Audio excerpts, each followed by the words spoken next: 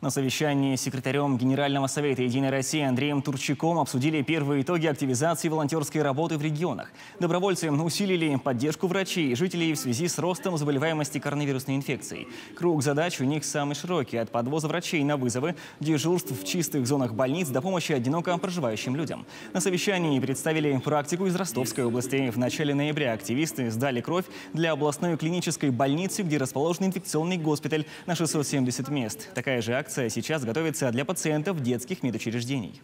Сегодня были подведены первые итоги а, возобновления работы волонтерских центров.